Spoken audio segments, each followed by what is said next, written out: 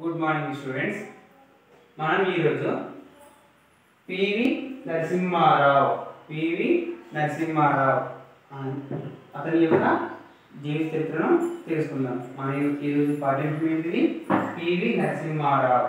కదా? ఈరోజు పాఠ్యాంశం ఏంటిది? పివి నరసింహారావు. ఇతను మన తెలంగాణ చెందిన వ్యక్తి. ఇతను మన తెలంగాణ చెందిన వ్యక్తి. భారతదే భారతదేశ ప్రధాన ప్రధానమంత్రి పదవిని చేపట్టినటువంటి దక్షిణ భారతదేశంలో మొట్టమొదటి తెలుగువాడేవాడు అంటే పివి నరసింహారావు. మన భారతదేశంలో ఇది భారతదేశం కదా?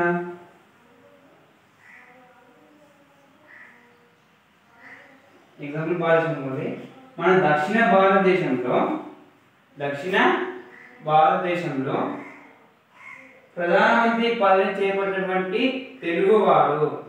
ప్రధానమంత్రి పదవి చేపట్టినటువంటి తెలుగువాడు. మొట్టమొదటి తెలుగువాడు ఎవరంటే పివి నరసింహారావు. ఎవరు? పివి నరసింహారావు. చూడండి. అదేవిధంగా ఈయన ఎన్నవ ప్రధాని అంటే పదవ. పదవ ప్రధానిగా గుర్తింపు పొందారు. రాజీవ్ గాంధీ గారి మరణాంతరం రాజీవ్ గారి రాజీవ్ గాంధీ గారు? రాజీవ్ గాంధీ గారు. అతని మరణానంతరం ఇతను ప్రధానమంత్రిగా చేయడం పదవి ప్రధానమంత్రి పదవిని చేయడం జరిగింది.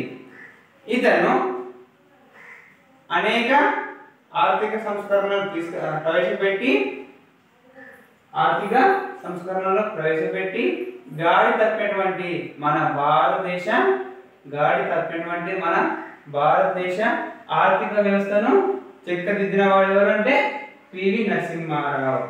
పివి నరసింహారావు. ఇతన్ని అపార చాణక్యునిగా పిలవడం జరుగుతుంది. అపార చాణక్యునిగా పిలవడం జరుగుతుంది. అదేవిధంగా ఇతని గల బిరుదు ఏంటి అంటే ఇదే బిరుదు ఆర్థిక సంస్కరణల పితామహుడిగా పిలవడం జరుగుతుంది. ఇతనికి బిరుదు ఆర్థిక సంస్కరణల పితామహుడు ఎవరంటే పివి నరసింహారావు. ఆర్థిక సంస్కరణల పితామహుడు పివి నరసింహారావు. దక్షిణ భారతదేశంలో తెలుగు వారులలో మొట్టమొదటిసారిగా ప్రధానమంత్రి పదవి చేపట్టిన వారు పివి నరసింహారావు. కదా?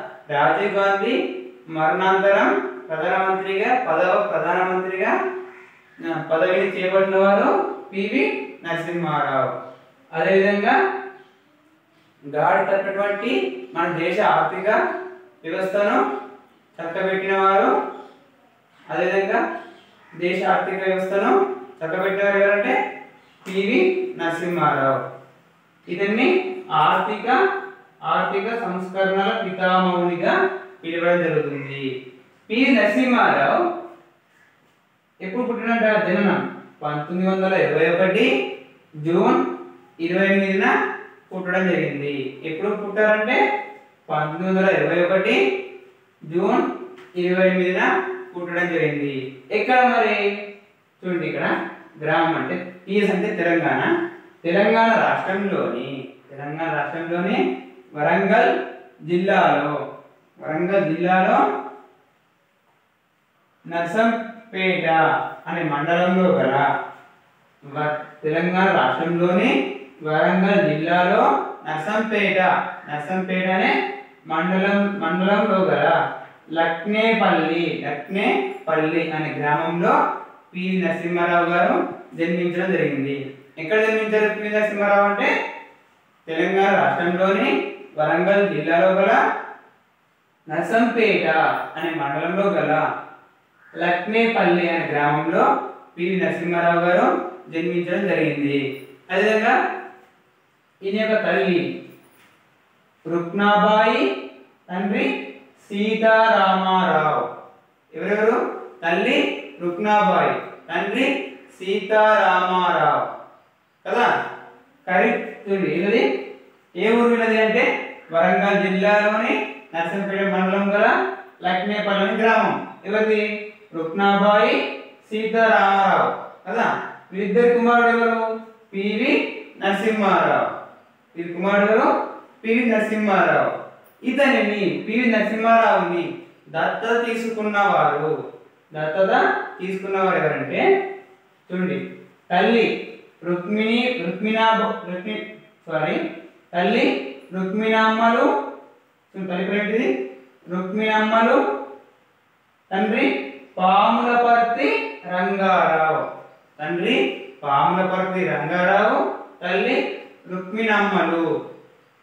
కదా? వీరిద్దరూ పివి నరసింహారావు గారిని దత్తత తీసుకోవడం జరిగింది. మరి వీరి గ్రామము వీరి గ్రామం ఎక్కడంటే కరీంనగర్ జిల్లాలో గల కరీంనగర్ జిల్లాలోని భీమదేవరపల్లి భీమదేవరపల్లి అనే మండలంలో వంగర గ్రామానికి చెందినవారు. ఎక్కడ వీళ్ళు? చూడండి. కరీంనగర్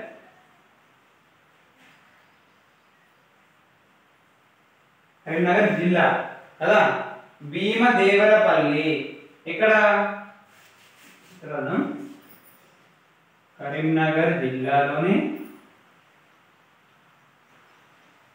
కరీంనగర్ జిల్లాలోని భీమదేవరపల్లి.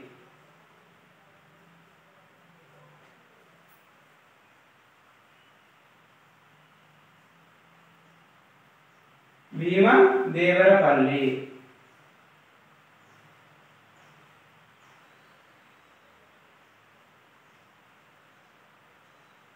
భీమదేవరపల్లి సారీ మండలం. ఇది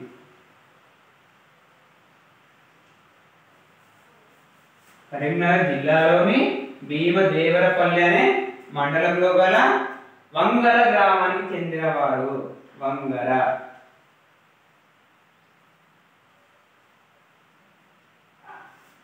వీడెక్కడ రుక్మిణమ్మలు పాములపర్తి రంగరావు గారి యొక్క స్వగ్రామం ఎక్కడ అంటే కరీంనగర్ జిల్లాలోని భీమదేవరపల్లి మండలంలో గల వంగర అనే గ్రామానికి చెందినవారు.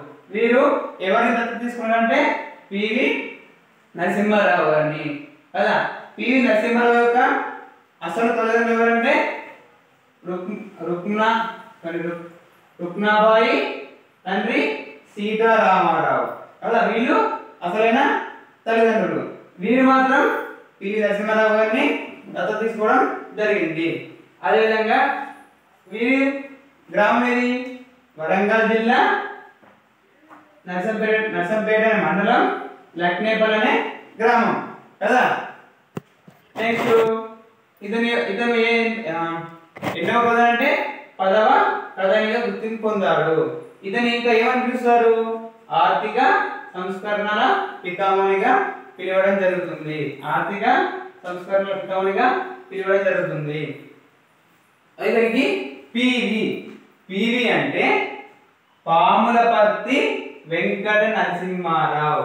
పాములపర్తి వెంకట నరసింహారావు. చూడండి ఇక్కడ గమనించండి.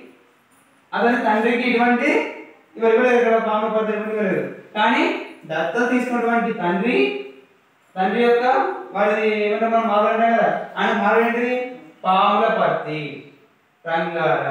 వీళ్ళు ఇద్దరు దత్త తీసుకోవడం జరిగింది కాబట్టి అప్పటి నుండి నరసింహారావు గారిని పాములపర్తి నరసింహారావు గారిని పిలవడం జరుగుతుంది. ఏమి చూసారు అప్పటి నుండి నరసింహారావు గారిని పాములపర్తి నరసింహారావు గారిని పిలవడం జరుగుతుంది. ఇది. తర్వాత భాగం నేను చెప్పుకుందాం.